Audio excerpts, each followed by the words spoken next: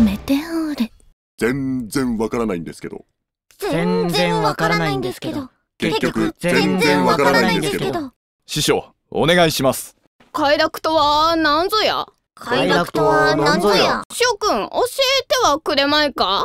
もっともだもっともだ第三の方面第三の方面全然わからないんですけど。